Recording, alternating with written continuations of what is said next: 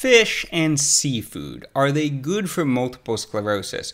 Well, this is an analysis of the nutrients allowed in five popular MS diets the Wahls Protocol, Swank Diet, Overcoming Multiple Sclerosis, the Best Bet Diet, and Healing MS by Anne Baruch. And I didn't specifically include seafood or fish in this analysis, but all of them allow it. Now, some of the low saturated fat diets limit fatty fish, but more or less it's allowed and even encouraged by many of these diets. And this recent study from Sweden, which got a ton of press, suggests that people with MS who eat a lot of fish have a lower risk of disability, specifically a 43% reduced risk of at least moderate disability. We'll take a close look at this study and review the literature in general, and I'll give my personal opinion. There are some theoretical reasons people think fish could be beneficial. One is they're abundant in omega 3 fatty acids. In terms of organic chemistry, omega 3 fatty acids are fatty acids where the double bond is three carbons from the end of the fatty acid chain, whereas omega 6 fatty acids, the double bond is six carbons from the end of the fatty acid chain. Omega 3 fatty acids have anti inflammatory properties and are building blocks for certain key biological molecules. It's believed our ancestors had a ratio of omega 6 to omega 3 consumption of around 2 to 1 or perhaps 4 to 1, but in modern times, because of certain types of vegetable oils like corn oil and sunflower oil, it could be as high as 25 to 1, and this may be deleterious and increase the risk of certain diseases. In addition, fish are high in the amino acid taurine, which is abundant in the nervous system and has some antioxidant and anti inflammatory properties. Additionally, fish may have beneficial effects on the microbiome, our gastrointestinal flora, the bacteria in our gastrointestinal tract, and it's known that changes in the microbiome are associated with risk and prognosis of MS. There are many studies on this topic. This is a case control study from Sweden from 2020, not the main topic of this presentation. They looked at 6,914 people with MS versus 6,590 people without MS, and they found that lower fish consumption was linked to a 20% increased risk of MS, and you can see the confidence interval does not intersect one, so it was slightly statistically significant. Here's the MS Sunshine study. First author Dr. Annette Langer-Gould, my former fellowship mentor, also depicted one of the other authors, Professor Emmanuelle Waubant from University of California, San Francisco. The main purpose of the study was actually to look at ultraviolet radiation and vitamin D, but they looked at other things as well. There were 1,153 people with MS in Southern California, where I am, and they found that eating fish or seafood at least once weekly or eating it once a month, but also supplementing with regular fish oil supplements was associated with a 44% lower risk of MS, and this was highly statistically significant, p equals 0.0002.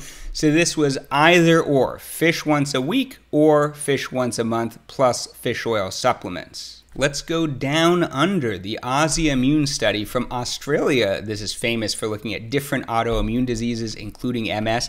They had 249 people with MS versus 438 controls, and they found that eating more than two servings of fish per week was linked to an 18% lower risk of demyelinating diseases. This is a class of diseases which includes MS, the most common one by far being multiple sclerosis, but they grouped it with other diseases as well. Specifically, they found that tinned, in other words, canned fish consumption, more than two servings per week, was associated with a larger 41% reduced risk. I think this is probably just random chance. I doubt there's something specific about tinning. But those are all cross sectional studies looking at one point in time. Here's a prospective study looking at who develops MS over time. It's from England, the United Kingdom Biobank, with 500,000 or so subjects.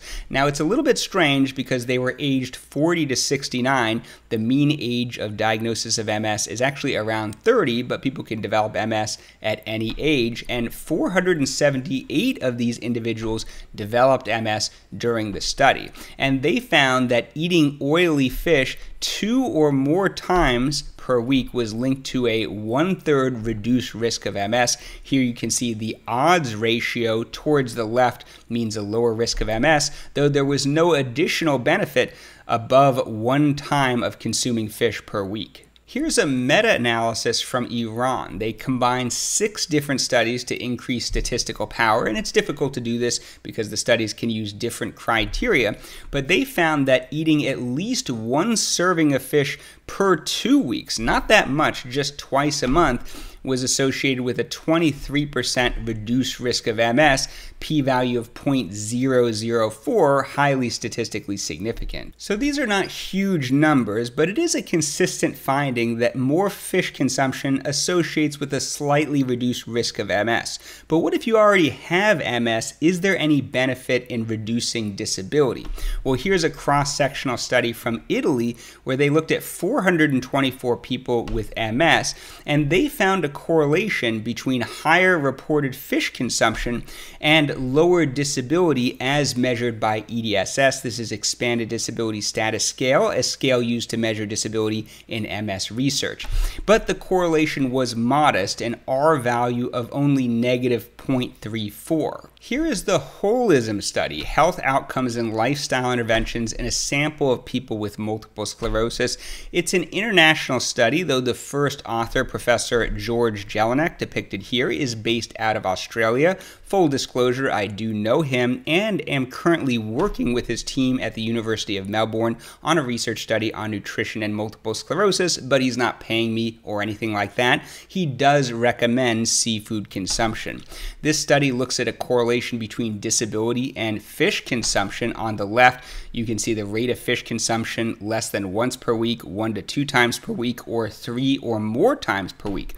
For people who had normal or, quote, some disability, in other words, low disability, People who consume fish less than once a week, 49.8% were in this category versus more, 62%, who ate fish three or more times per week. Whereas people who required major support, significant help with walking, for instance, people who ate fish less than once a week, 11.9% were in this category compared to only 8.5% of those who ate fish three or more times per week. So, more fish consumption correlates with less disability. They also looked at omega 3 supplements and they found that flaxseed oil was associated with a 63% lower risk of relapses in the prior 12 months compared to not taking an omega 3 supplement. You can see the hazard ratio of 0.37 and a highly statistically significant p value of 0.001,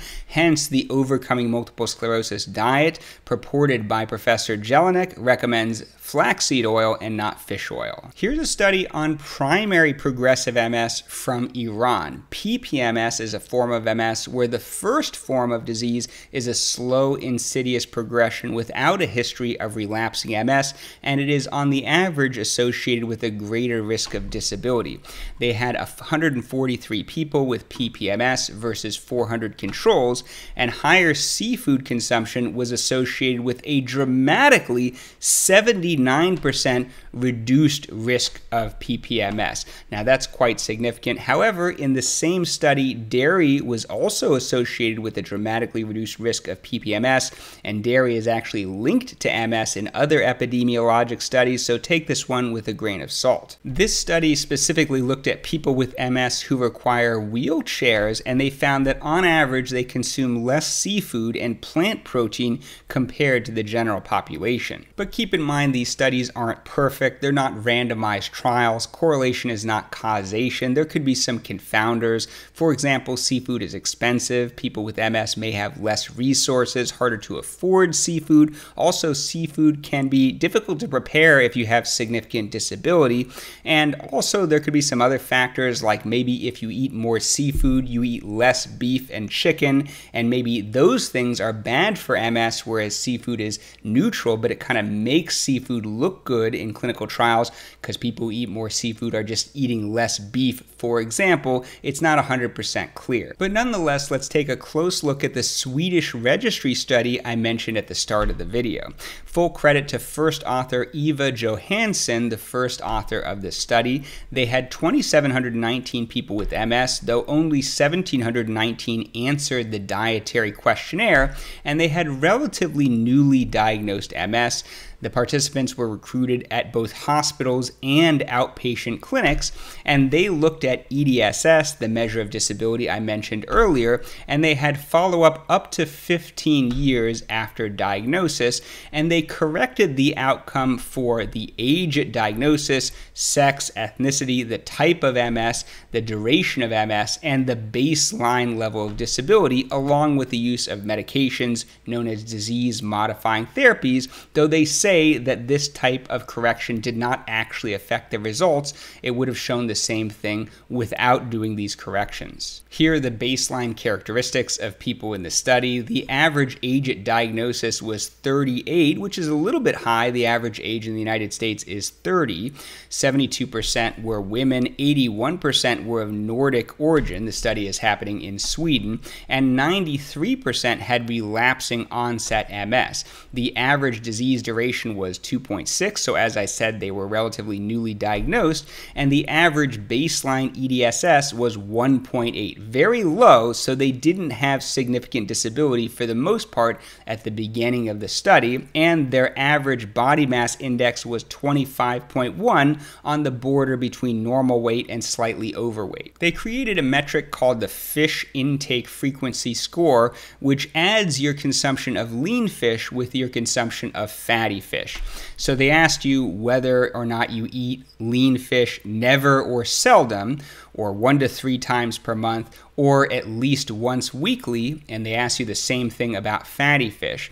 And if you ate both fatty fish and lean fish at least weekly, you would have a score of six. Whereas if for both types of fish it was never or seldom, you would have a score of two. Whereas if you ate both of them one to three times a month, you would have a score of four. And of course, you could also get scores of three and five as shown on this chart. And here are the results. They looked at the correlation between higher fish consumption and risk of worsening of disability during the study. So a higher number on the left hand column means more fish consumption and here is the hazard ratio, the likelihood of having progression of disability relative to the lowest score, a score of 2. And you can see for people with a score of 6, the hazard ratio was 0.66, corresponding with a 34% reduced risk of disability worsening. They also looked at specific disability outcomes. So this is the probability of having at least an EDSS of 3 or greater.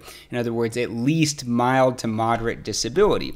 And again, the higher the fish consumption, the lower the chance of getting to at least EDSS of 3. So compared to the lowest score, a 2, if you got to a score of 3, you had a hazard ratio of 0.8 or 20% reduced risk. For a score of 4, it was a hazard ratio of 0.78, a 22% risk for 5 a 30% risk, and for 6 a 45% reduced risk. They did the same thing for EDSS 4 or greater, which could be considered at least moderate disability, and if you had a score of 6, you had a 43% reduced risk of getting to at least EDSS 4 during the study. Finally, they looked at changes in fish consumption. What if you start off not eating a lot of fish, but you increase it after you get diagnosed with MS? Well, they looked at people who had a low score at the beginning, two to three, who increased it to five to six within five years of diagnosis. Compared to people who did not change their fish consumption, this was associated with a 20% reduced risk of disability worsening. You can see the confidence interval goes up to 0.99, so it's just barely statistically significant. There were a small number of people who had a score of 2 who got all the way up to a score of 5 or 6. It was only 16 people, again within 5 years of diagnosis, but they seemed to have a dramatically reduced risk of disability, worsening a hazard ratio of 0.41, corresponding to a 59% reduced risk, and despite the small number, it was statistically significant. So, in sum, even though I don't consider any particular study to be particularly strong or convincing, I do think the evidence is that there is a very consistent association between lower risk of MS with increased fish consumption and lower disability in people with MS with increased fish consumption. Of course, as I said, there could be some reverse causation. I don't think it's definitive, but I think it would be reasonable to increase fish if you have multiple sclerosis. I'd be interested to know your thoughts. Do you include fish or seafood in your diet? And what are your results? And do you have any other suggestions for future videos?